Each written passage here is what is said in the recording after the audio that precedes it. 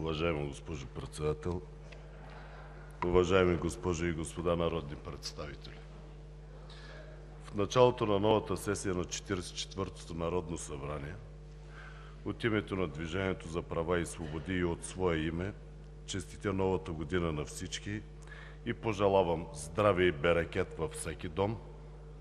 Нека 2019 година да е плодородна и богата, мирна и успешна, България да извоюва достойно място в Европа и в международен план, Европейският съюз да намери верния път за просперитет на всички държави членки и благоденствие на обществата. Началото на годината е и време за равносметка и оценка на отминалата година и поглед в бъдещето.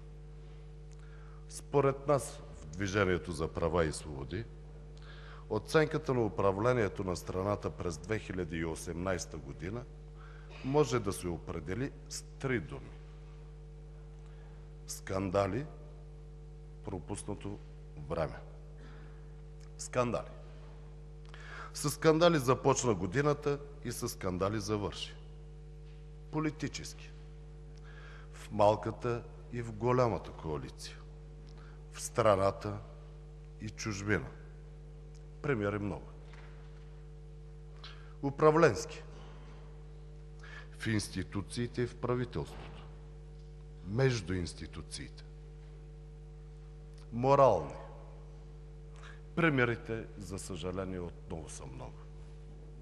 Нещо повече, със скандал започна и новата 2019 г. Изгубено време. Изминалата година е изгубено политическо време за България. Както чухме основната политическа сила от управляващите, те казват, че в страната има изключителни постижения – икономически растеж, рекордно ниска безработица, повишаване на доходите, бюджет с най-високи приходи и разходи за целия преход. И това са аргументи, че трябва да продължат да управляват страната по същия начин. Внимателният, действителен анализ на тези факти обаче показва съвсем друга картина – тази на още една изгубена за България и българските граждани година. Икономическият растеж е в рамките на 3,5%. Крайно недостатъчен, за да догоним дори страните от нашата група в Европейския съюз. Такъв растеж обрича и следващото поколение български граждани да остане най-бедното в Европа, не само сегашното. От трите фактора на растежа – инвестиции, износ и потребление, работи основно последният. Инвестициите като фактор, генериращ устойчив растеж, практически отсъстват. Рекорден спад и на преките чуждестранни инвестиции. И това е поради липса на адекватна политика на държавата. През 2018 г. най-големият инвеститор в страната са българските граждани, които работят в чужбина. Те захранват потреблението с парите, които изпращат тук. България се превръща в износител на труд. Младите са принудени да заминават зад граница, защото мина още една година без реформи в образованието. Реформи, които биха могли да бъдат направени за бизнеса. Реформи, които да спрат търсенето на препитание зад граница. Растеж, основан на потреблението, без инвестиции, без повишаване на заетостта, дава винаги един и същ икономически ефект – инфлация. И тя вече е факт в България. През 2019 г. по-високите й нива ще обезсмислят увеличаването на доходите. България има нужда от програма за ускорено догонващо развитие. Стратегически приоритет на България е ускореното догонващо развитие спрямо средния стандарт на Европейския съюз.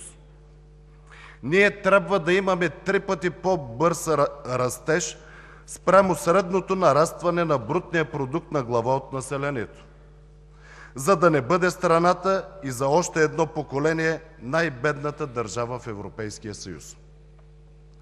Липсата на реформи обезсмисля увеличените разходи в ключови социални сфери. Продължава да се налива вода в бездънна каца. Примери са много. Един – здравеопазването. Тези по-големи харчове без реформи няма да направят по-добри услугите за гражданите. Политиката на Движението за права и свободи през 2019 г. ще бъде търсене на диалог и консенсус за приоритетите и Програмата за развитие и, разбира се, нов модел на управление.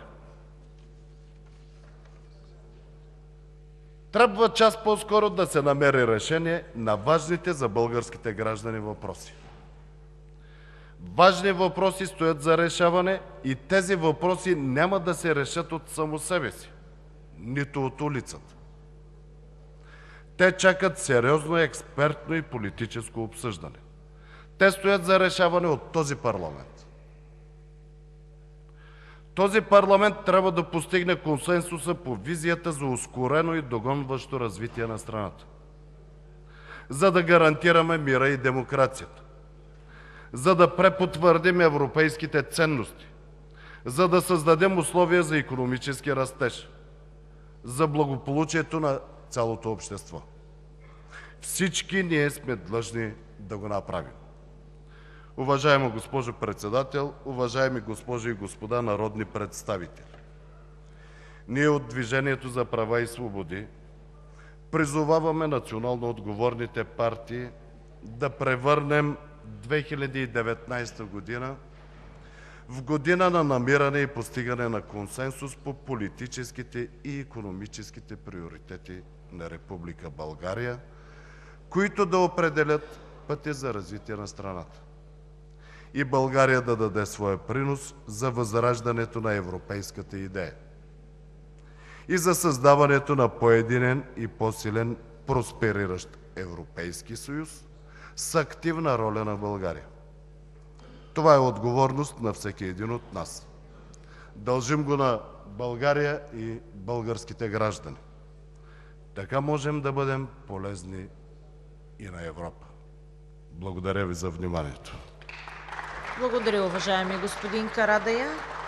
Следва последното изявление